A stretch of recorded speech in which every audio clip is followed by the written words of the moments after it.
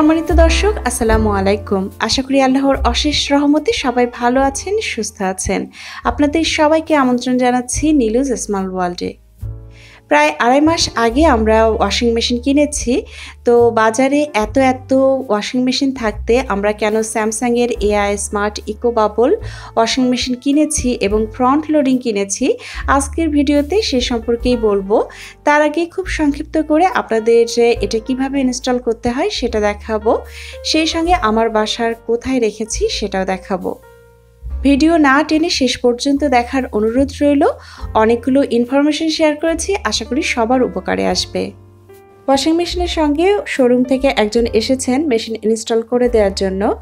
আর install করতে যা যা লাগবে সবই মোটামুটি মেশিনের সঙ্গেই থাকে।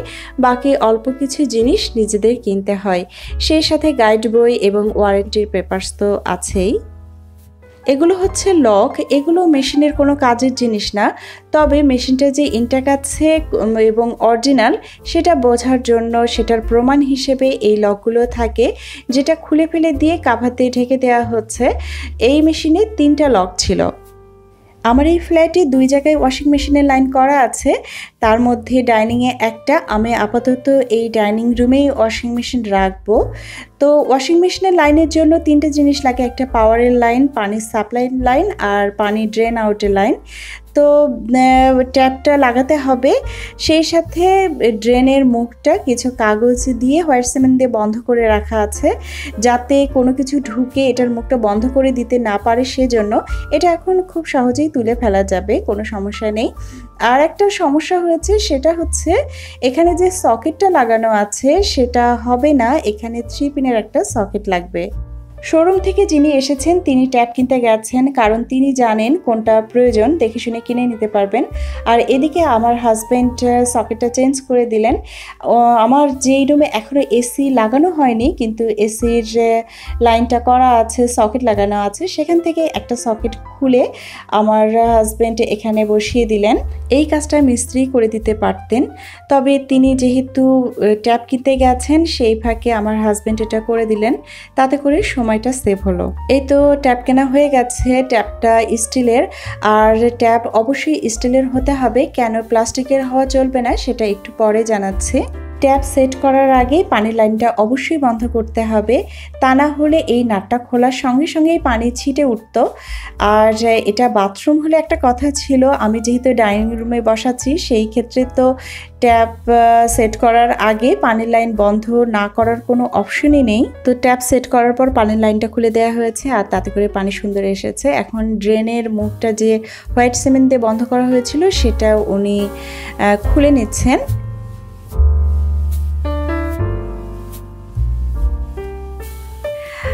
এই তো লাইন ওয়াশিং মেশিন সেট করার জন্য যে লাইন সেটা পুরোপুরি রেডি হয়ে গেল।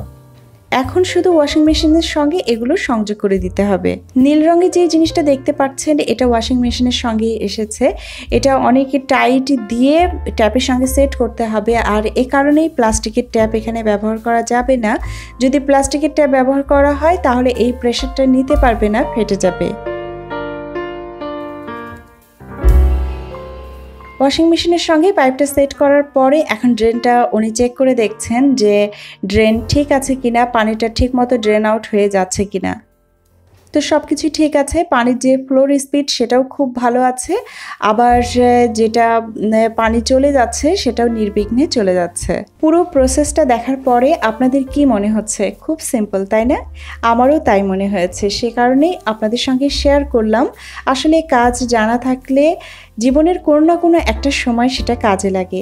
হয়তো এমনও হতে পারে যে আপনাদের যে ইনস্টল করে দেওয়ার মতো কেউ নেই, কাউকে পাচ্ছেন না, সেই সময় কিন্তু নিজেই করে নিতে পারবেন। সবশেষে এখন ড্রেনের মুখটা হোয়াইট সিমেন্ট দিয়ে বন্ধ করে দেওয়া হবে। আর হোয়াইট সিমেন্ট আমার বাসাতেই ছিল। সেটা শুধুমাত্র পানি দিয়ে গুলে এটার সঙ্গে লাগিয়ে দেওয়া হচ্ছে। আর এটা যতক্ষণ পর্যন্ত শুকায়নি, ততক্ষণ পর্যন্ত আমরা ওয়াশিং মেশিনটা নড়াইনি পাইপটা নড়াইনি। শুকিয়ে যাওয়ার পর আমরা ওয়াশিং ওয়াশিং মেশিনটা সরে দেয়ালের কাছাকাছি নিয়ে বসিয়েছি। এখন আপনাদের বলব, বাজারে এত এত ওয়াশিং মেশিন থাকতে আমরা কেন স্যামসাংয়ের এই ওয়াশিং মেশিনটা কিনেছি? সেক্ষেত্রে প্রথমে এর লুকিংটার কথা আসে। অ্যাশ এবং ব্ল্যাকের কম্বিনেশনে এটা এত স্টাইলিশ এবং অ্যাট্রাকটিভ লেগেছে আমার কাছে যে প্রথম দেখাতেই পছন্দ করেছি। আর আগে থেকেই আমার প্ল্যান ছিল যে এটা ডাইনিং রুমে বসাবো। যেখানে মেশিনের লাইনটা তার ঠিক পাশেই আমার ফ্রিজার রাখা আছে। তো সেটার কালারটা তো মাথায় ছিল। তার কাছাকাছি একটা কালার খুঁজেছি, সেক্ষেত্রে এটা একদম মিলে গেছে। তারপরে আসি টেকনোলজি বা টেকনিক্যাল পার্টটা এই ব্যাপারটা আমি আমার হাজব্যান্ডের উপর ছেড়ে দিয়েছিলাম। তিনি যেহেতু একজন ইঞ্জিনিয়ার তার উপর আমার ভরসা আছে। অন্তত আমার থেকে তো তিনি অবশ্যই বেশি বুঝবেন। তো আড়াই মাস হলো ব্যবহার করছি। যতবার ব্যবহার করি, ততবারই আমার মনে হয় তিনি আসলে বেস্ট জিনিসটাই আমার জন্য কিনে এনেছেন। এটাতে বাইশটা ফাংশন আছে। তার মধ্যে থেকে বেশ কিছু ফাংশন আমার কাছে খুব গুরুত্বপূর্ণ মনে হয়েছে।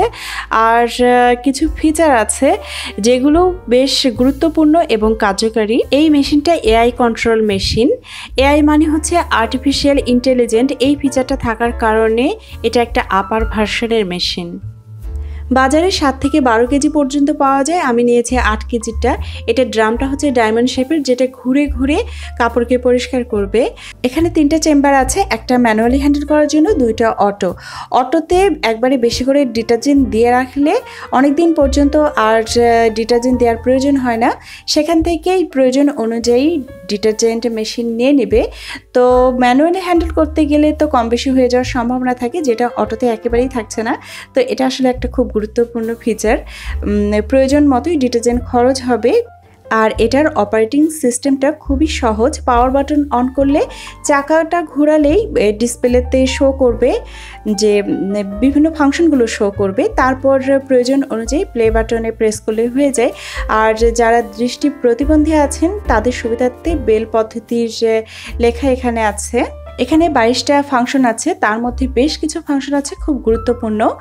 একটা আছে ড্রাম ক্লিন এটা মেশিন নিজে থেকেই পরিষ্কার করবে, আর যেহেতু এই মেশিনটা এআই কন্ট্রোল সে কারণে যখন ড্রাম ক্লিন করার প্রয়োজন হবে, তখন মেশিন নিজে থেকেই নোটিফিকেশান দিয়ে দেবে। আর ড্রাম ক্লিন করার জন্য বাড়তি কোনো কিছু এখানে দিতে হয় না ডিটারজেন্ট বা গরম পানি কোনো কিছুই না। ঠান্ডা পানির যে কানেকশন আছে সেখানে সেই ঠান্ডা পানি নিয়েই মেশিন নিজে থেকে গরম করে ড্রামটা পরিষ্কার পরিষ্কার করবে নাইনটি নাইন পার্সেন্ট পর্যন্ত ব্যাকটেরিয়া মেরে ফেলবে, দুর্গন্ধ দূর করবে এবং স্টেন রিমুভ করবে। এটা থাকার কারণে ড্রাম ক্লিন কখন করব, দেরি হয়ে যাচ্ছে নাকি তাড়াতাড়ি হয়ে যাচ্ছে, এ ধরনের কোনো আর টেনশন থাকছে না।